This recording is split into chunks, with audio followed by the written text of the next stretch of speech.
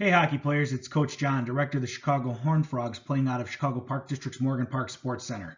Hope everyone is doing well. In this week's virtual session, we're going to go over the most important piece of equipment outside of your skates, and that's your hockey stick, in a tutorial I'd like to call Hockey Stick 101. These are some of the things we're going to cover, uh, what I want to call our stick basics, and those are going to be stick material, stick sizes, stick flex, your stick curve, your stick lie, and when you ultimately choose a stick, the proper length for your stick. First thing we're going to talk about is stick material. Uh, there were three main materials used to create hockey sticks and make hockey sticks over the years. And the first one was wood and fiberglass. And then in the uh, 90s, uh, late 80s, early 90s, they came up with aluminum, uh, which is not used very much today. Aluminum sticks had an aluminum shaft and a, and a wooden blade. Um, Currently today, the majority of sticks are carbon fiber, um, which is a great material. It's actually very lightweight. Um, it's got really good flex, uh, and it actually helps people uh, have a better shot. Um, however, uh, the wood stick actually gives you a better feel when it comes to passing. So um, right now, I would say the two main choices would be carbon fiber or wood fiber, wooden fiberglass combination.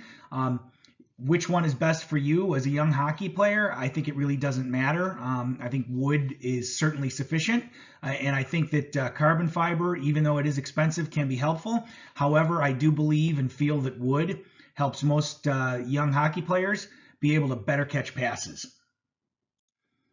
And again, the other good part about a wooden stick, it's substantially cheaper than a carbon fiber stick for you. So for you parents and hockey players who uh, who are just starting out and you want to save a few dollars, I would say it's perfectly okay to choose a wood stick over carbon fiber. And then as you become better and uh, you get a little older, it's it's it's perfectly okay to then make the jump to a carbon fiber stick. So the next thing we're going to talk about is stick sizes. I have a lot of parents come up to me and say, "Hey, coach, uh, do I have the right size stick for my son or my daughter? Uh, you know, as they're getting ready to get on the ice?" And I can tell you, I've seen a lot of times parents will take one of their old sticks and they will cut it way down. Um, not necessarily the thing you want to do. Um, obviously, stick shafts for an adult are much bigger. Um, so sticks come in four different sizes. And the first size would be youth, and obviously the length is much smaller. Um, it's much shorter, and uh, the actual shaft and, in blade are, are, quite a bit smaller as well. Um, the next step up, and most hockey players who are actually playing on teams would probably use a junior size stick as youth players, uh, generally ages 7 to 13. Um, and then as they continue to get older and they get up to where they're peewees and bantams, they're probably going to move to an intermediate stick. Um, again, the shaft gets a little bit bigger, the blade gets a little bit longer, and that's ages, you know, roughly 11 to 14. And and again, then as uh, you get in to bantams and to midget hockey, which is 14 and over, um, you're going to move to a senior stick. Senior stick is obviously going to be longer. Again, the shaft is going to get a little bit bigger, um, and, and the blade's going to get a little bit bigger as well. So parents, when you're getting your uh, players on the ice, make sure that they've got the right size stick uh, for their age. Talk about is probably one of the more important things um, outside of maybe stick length, and that's stick flex. Um, stick flex is just how much a shaft bends under the pressure that's placed on it. So uh, as you put uh, weight into uh, into your shot, it's going to flex the stick, especially with the uh, with the newer uh, with the newer composite sh uh, shafts. Um, so the lower the number means it's easier to flex. Uh, the higher the number, it's obviously harder to flex. So if you've got a kid out there, um, again, who would be using an adult stick and he's 10 years old, he's really not going to be able to flex that stick because he doesn't have the weight uh, to, to be able to transfer it to actually flex that stick. Um, flex number should be roughly half your weight.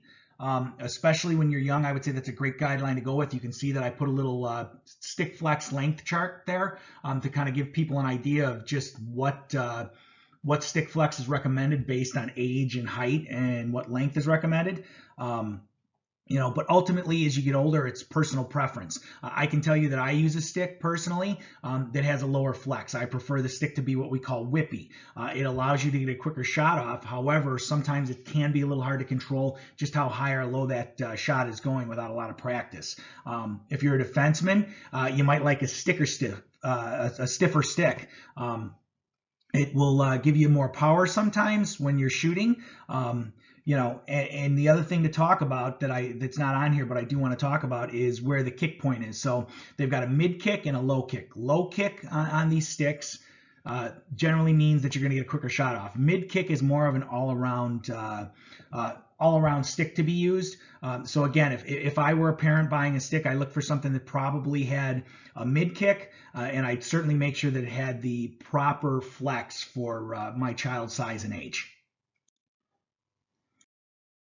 Want to talk about is your stick curves. So uh, there's there's three predominant type of curves, and obviously there's some that fall in the middle. Uh, but there's a toe curve, uh, there's a mid curve, and there's a heel curve. So whenever you see on a stick, you'll see those names. You know the names of your favorite players, whether it's Ovechkin or Kane or uh, Toews, whoever that may be, um, and that name usually denotes a particular curve. So uh, a toe curve is exactly what it sounds like. The the stick is uh, the, the, blade of the stick is curved more at the toe. So that's used for lifting the puck quickly and actually helps uh, with shot speed. A lot of forwards actually prefer that type of uh, curve.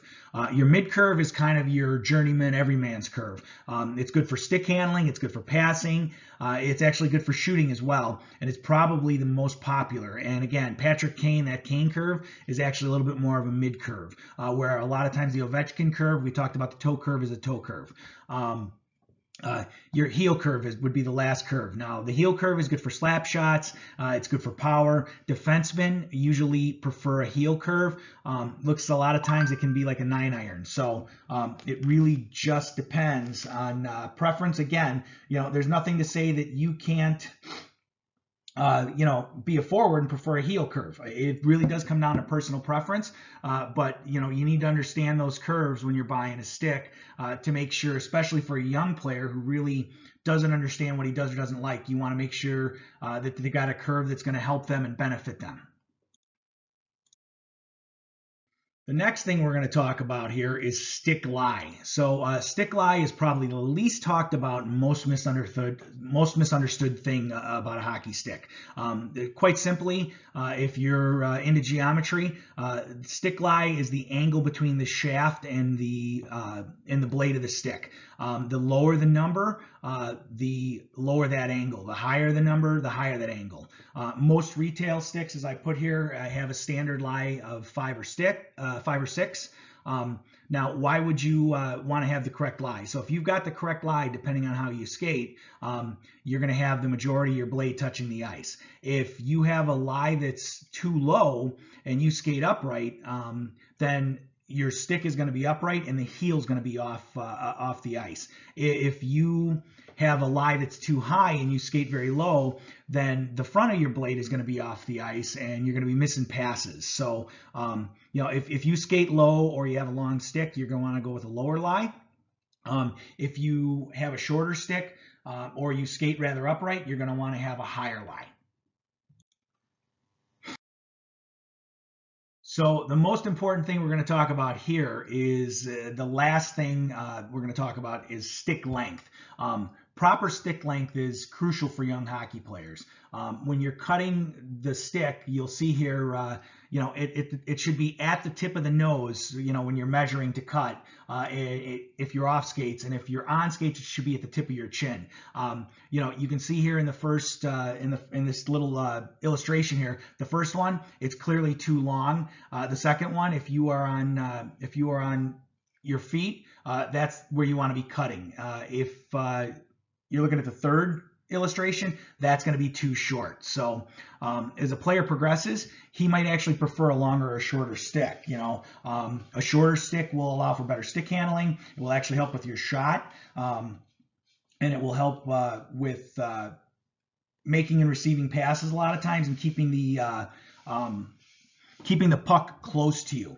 Um, you know, so again, if you're a dangler, uh, you're going to want a short stick. If you're a guy who likes to snipe, you want to keep the puck close to you. You want to be able to stick handle around guys. You're going to want a short stick.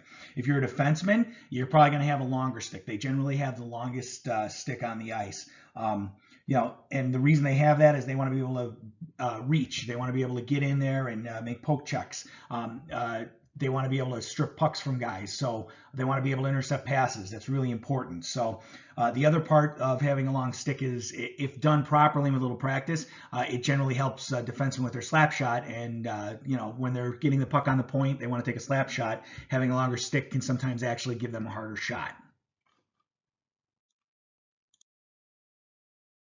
So again, moms and dads, uh, you know, I want to thank you for your time. Uh, remember, when buying a stick, these are the things to look at. You know, you want to look at your stick length, you want to look at your stick flex. Um, you're not necessarily always going to see lie, but if you uh, make sure that it's the proper flex for your uh, player and you make sure it's the proper length, they're going to be successful on the ice. Uh, this is going to uh, conclude this week's virtual session.